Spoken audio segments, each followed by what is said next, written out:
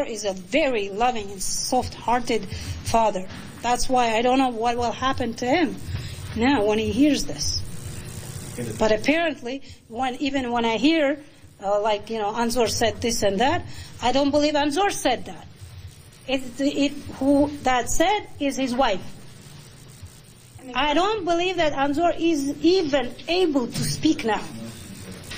As much as I know my brother, he would not be able to speak over the phone hearing this news.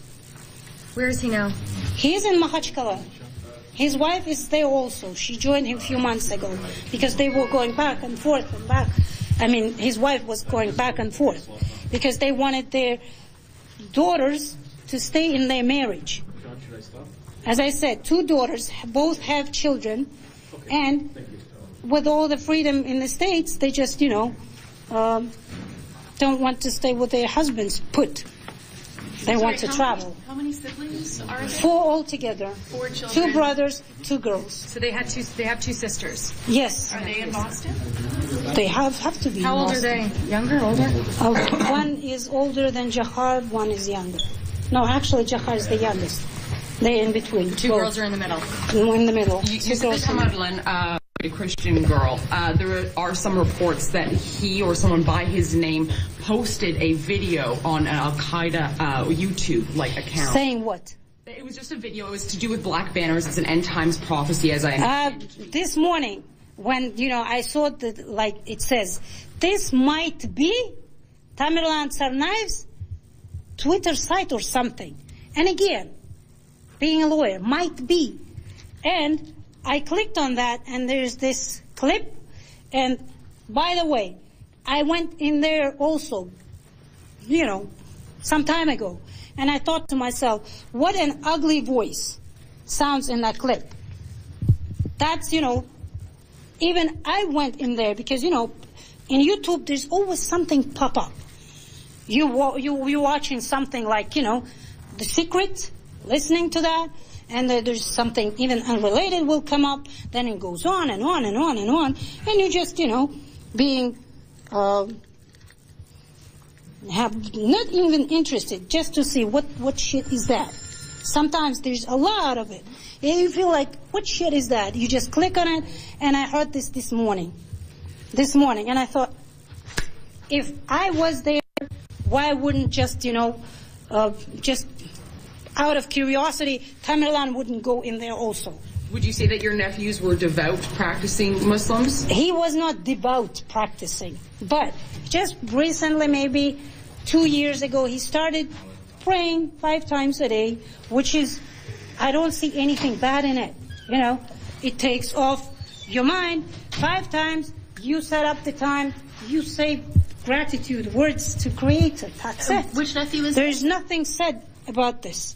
Uh, I would rather him praying than he will be smoking, doing drugs, and doing some other unlawful stuff. Which nephew are you referring? To? That's Tamerlan.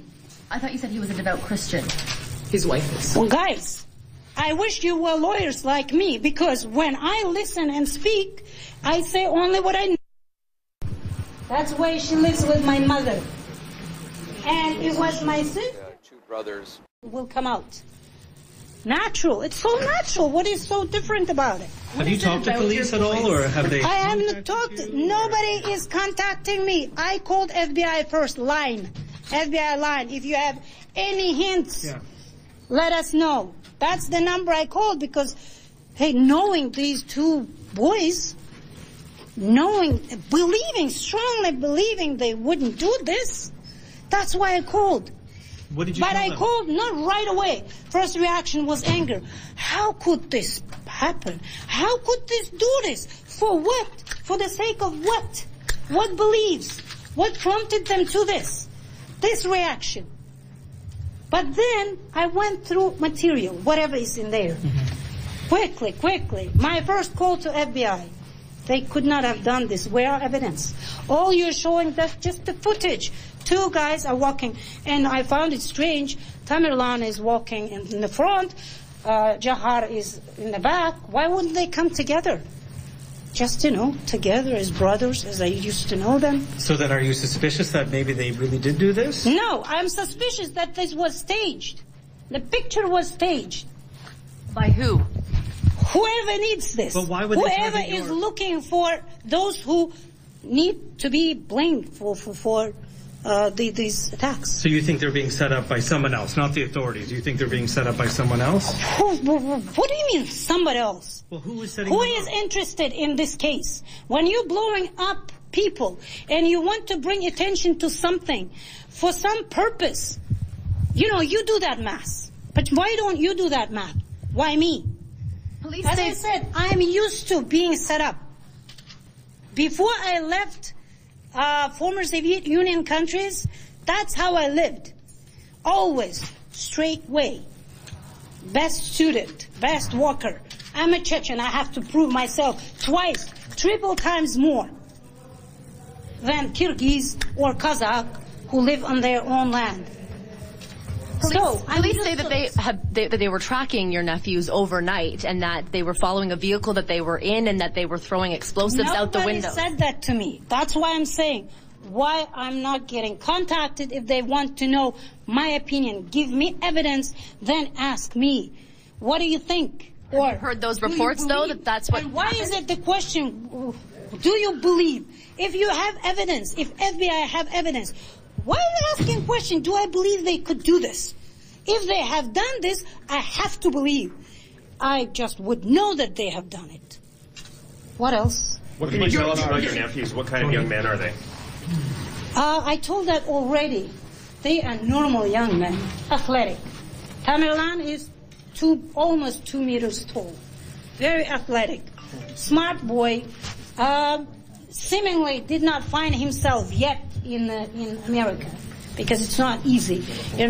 My younger brother Ruslan, he had a very high expectations of him because he know he was smart. He knows he could use his potential. But you know, since and and then when he found out that he dropped out of university, that was Ruslan was desperate because he always demands more of his children, of his nephews, especially Tamerlani is his favorite. So, as I said, studying uh, Jahar is, you know, he's a smart guy, studying well. Can you tell us about when they came to the United States, where they had been living before that? I brought them here. I was in the States uh, going through my paperwork to immigrate to Canada. when was that? That was 2001. So then, in 2002, my older brother came to the States. That's when I filed out his paperwork myself for the refugee protection claim. Your older brother. Older. You've been listening to the aunt of uh,